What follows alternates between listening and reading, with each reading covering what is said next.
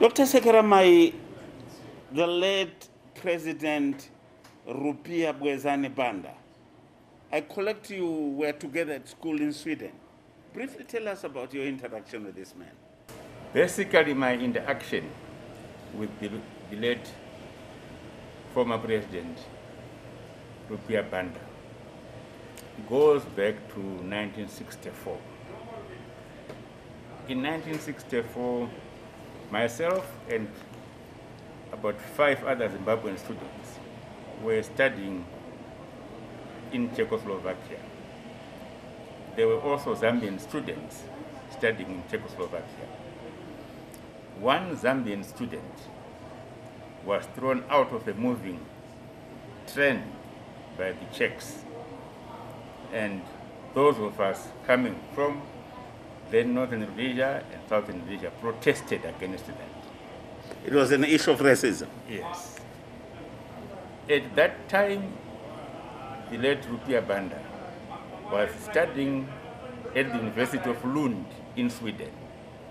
He was also the Secretary for International Affairs of the Zambia Students Union. So when he heard about the problem in Czechoslovakia, he came over to Czechoslovakia. He was fully briefed about what had happened and why we were protesting. He then took a decision that those of us, or that some of us, those able to, can leave Czechoslovakia and he would facilitate scholarships for them and studying in Sweden. I was one of those who decided to support the Zambian students protesting.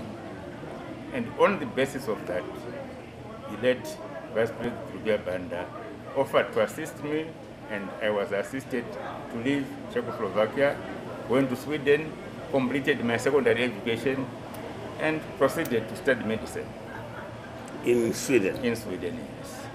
So you know each other very well. I, we knew each other very well. And also, when I completed my medical studies in Sweden, I came to work in Zambia at the University Teaching Hospital. And he was a senior politician, and we continued to interact. And he was very supportive of the liberation struggle, so our friendship continued. My feeling was that here was the late Rupiah Bwezani Banda, a man who had interacted very vigorously with those of us who were still colonized. And he did everything to facilitate the liberation of our country.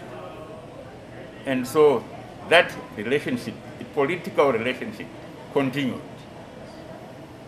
And when he passed away, we felt it was necessary, at least I felt it was necessary to attend the funeral.